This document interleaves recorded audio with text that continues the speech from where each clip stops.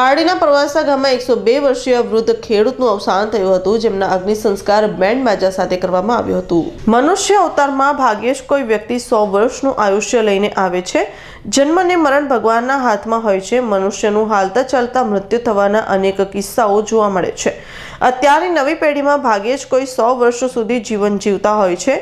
ત્યારે બુધવારના પારડી તાલુકાના પરવાસા મંદિર ફળિયામાં રહેતા ખેડૂત બુધાભાઈ હરજીભાઈ પટેલ તેઓનો જન્મ ચાર મે ઓગણીસો સોળમાં થયો હતો અને આજે તેઓની ઉંમર એકસો બે વર્ષના વયે અવસાન થતા.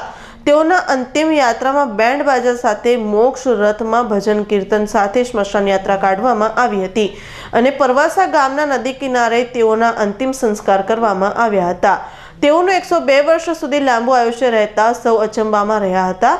તેમની અંતિમ સંસ્કાર તેમના જમાએ કરી હતી અને હજારોની સંખ્યામાં મોક્ષ રથમાં તેમના મૃતદેહને ફટાકડા ભજન સાથે નદી કિનારે અગ્નિ સંસ્કાર કર્યો હતો.